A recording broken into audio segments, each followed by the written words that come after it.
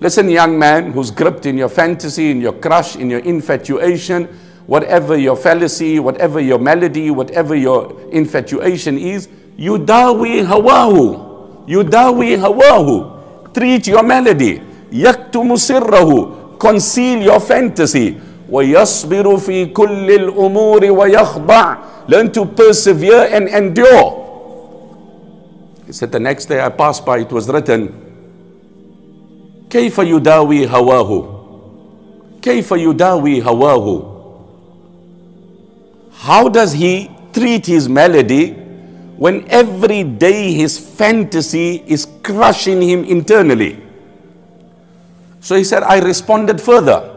إن لم يطق صبرا وكتما لسره فليس له شيء سوى الموت أنفع إن لم يطق صبرا وكتما لسره I paraphrase the translation of this generally. If you are unable to crush your evil fantasy, then you will die for the rest of your life. But if you can muster the courage to crush it, then you will live beyond and you will live a wholesome life.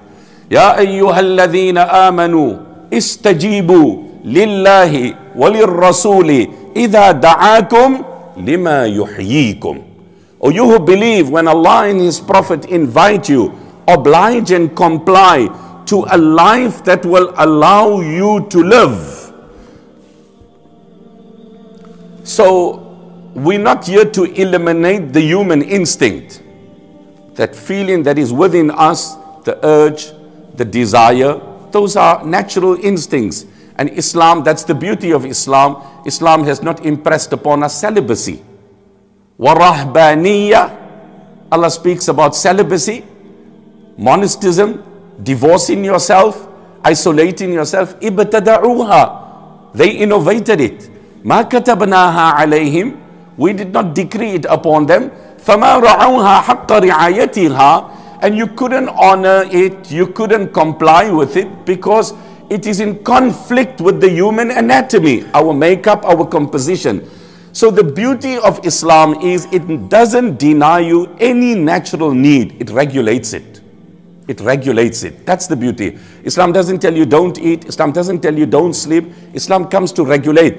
وَمِنْ آيَاتِهِ مَنَامُكُمْ بِاللَّيْلِ وَالنَّهَارِ وَابْتِغَاؤُكُمْ مِنْ فَضْلِ Amongst the signs of Allah is sleep in the day, sleep at night. وَالنَّوْمْ بِالنَّهَارِ مِمَّا عَوَّدَتْهُ الْعَرَبِ And sleeping by day, siesta, the, the Arabs used to sleep. So, دل على أن النوم للاستراحة وكذا طلب المعاش من الأسباب لا ينافي الكمال وإنما ينهى الانهماك فيهما It's all about moderation. It's natural to have some evil thought or evil desire, but the problem starts when you perpetrate it, when you take the action. When any sort of evil desire or evil thought comes in your mind, at that time do istighfar. Ask Allah to protect you from the cursed shaitan and try to change your mind to a positive thing. Don't go for the bad desire or bad thing that came into your mind. Remember Allah. Ask Allah to protect you, to shield you, and to safeguard you from the evil desires. And Allah subhanahu wa ta'ala will make it easy for you. Read good books, listen to Islamic lectures, and build up some good habits. When you are not doing anything, shaitan attacks you more. Shaitan attacks the lazy person because an empty mind is the house of shaitan. Because you don't have anything to do, so you keep thinking about all these bad, evil desires. Start working. Go to the places where the good people are there. Such a place is the masjid. When you are at the masjid, when you are praying five daily salah in the masjid, you are meeting good people, you are listening to the remembrance of Allah, you are doing zikr of Allah, then you'll see that slowly but surely all the evil desires and evil thoughts are going away from your mind. You are becoming a better person. Read the Quran, it will heal you. May Allah protect all of us from evil desires and evil thoughts.